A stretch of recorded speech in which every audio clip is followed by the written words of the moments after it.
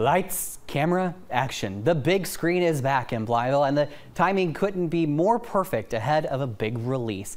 It has been 20 years since the Ritz Civic Center showed a new movie to the community. Thanks for being here tonight. I'm Chris Carter. our Imani Williams was there tonight, and she tells us more about this journey. It's first at 10. The Ritz Civic Center was a staple in Blytheville. It lit up downtown with its marquee lights before hosting a movie showing. In the mid 80s, that stopped when new release movie showings stopped. A Malco Theater opened in Blytheville in the 70s and showed movies for years, but ultimately closed in 2016, causing residents to drive outside the city or even the state just to see a movie. We have movies back, so that's that's huge for our community. But Friday night, that changed.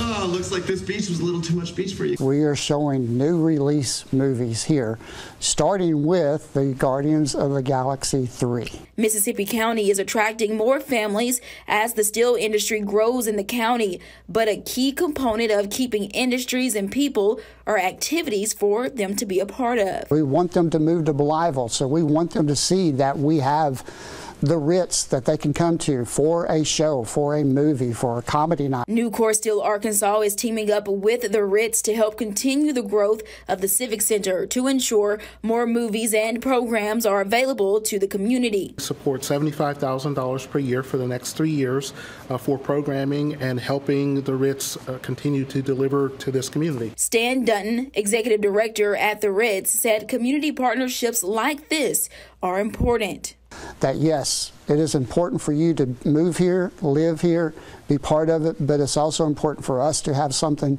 for them to look forward to, to have to come see. In Blytheville, Imani Williams, Region 8 News.